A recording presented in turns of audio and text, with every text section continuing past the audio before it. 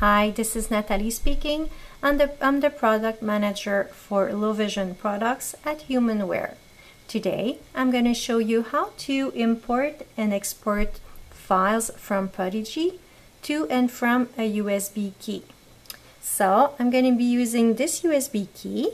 Since my tablet doesn't have a USB port, I'm going to be using this connector. So, it's a USB to USB-C my tablet has a USB-C port, so I'm perfect with that. Now let's see if I am ready to uh, import. So let's go into Android by tapping on the tablet with four or five fingers.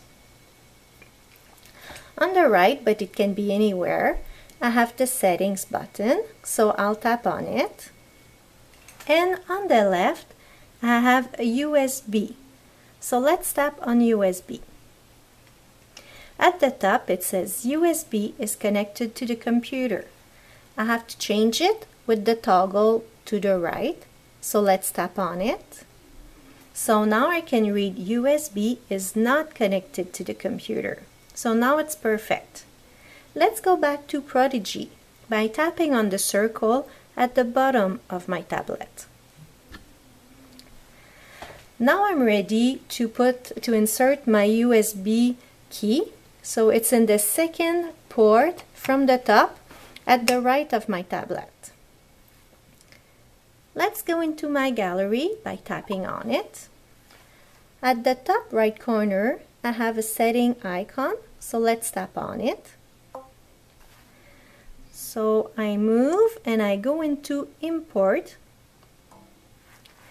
I have two storage, the internal storage, which is the internal of my tablet, and the store and go, which is my USB key.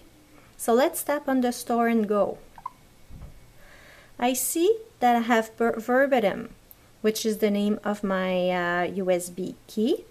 So at the bottom of the right, I can press select to select it. Now it is showing everything I have on my USB key.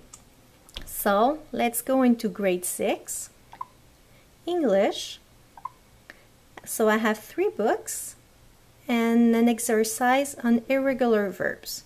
So I want to import this exercise into my gallery. Let's tap on it. Now the document is being loaded and converted for uh, to be used in my gallery. So I see here the irregular verbs. I can do everything with it enlarge it, shrink it. So let me go back. I am also able to do the opposite. So to put this exercise, this PDF, into my uh, USB key. So let's press and hold. In the action button, I have export. So let's export it into a PDF.